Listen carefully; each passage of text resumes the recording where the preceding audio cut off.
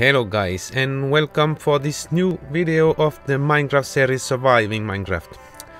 So what's happening from our last video?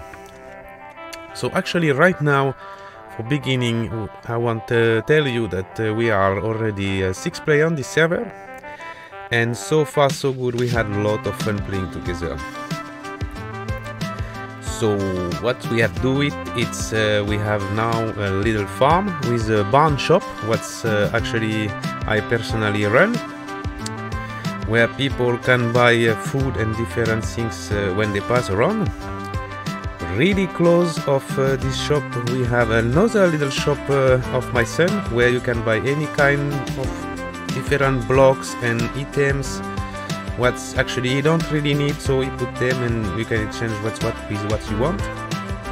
And we have two player who I like to tell it's our two explorator who traveling in the end game selling actually really good and really rare item. They also have a gunpowder farm automatic farm like creeper farm.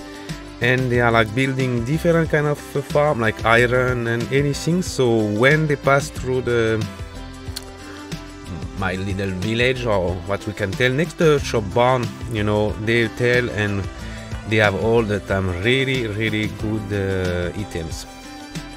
So uh, actually this little organization have make our progress very smooth. And uh, we really didn't run out of any kind of material. It was really fun. To can exchange it item you know when you are like uh, want concentrate on building some stuff or things like that. So you know you can go you know buy food there and get this there and you know you find some diamonds. So you can buy your, a new elytra or any kind of uh, you know enchantment book anything. So we have made some exploration but uh, personally for now and uh, for many of us we have concentrated on building you know automatic farm and all what I will show you in this uh, short uh, episode. So that's it you know. I will uh, leave you here for this uh, little tour. I hope you will enjoy this little tour and I tell you take care and peace